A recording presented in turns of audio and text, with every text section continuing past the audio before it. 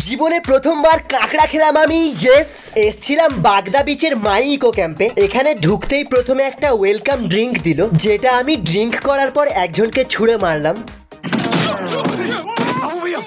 তার কিছুক্ষণ পরেই চলে এলো আমাদের লাঞ্চ এখানে ছিল অনেক রকম আইটেম আমার তো পনিরটা দারুণ লাগল। এর সাথে নিলাম চিংড়ি মালাইকারি। এবার পালা কাঁকড়া খাওয়ার, জীবনে প্রথমবার খাচ্ছি। এটা খাওয়ার পর বুঝলাম এর টেস্ট পুরো কাঁকড়ার মতোই ছিল।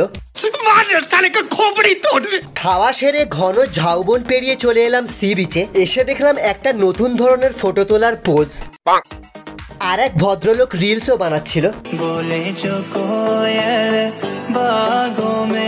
এনিওয়েজ জায়গাটা কিন্তু ভালো ছিল। তোমরাও চাইলে আসতে পারো ডেসক্রিপশনে দেওয়া নাম্বারে কন্ট্যাক্ট করে। আমি সি বিচে ঘোরাফেরা করি। তোমরা আরও মিনি ব্লগস এর জন্য সাবস্ক্রাইব করো।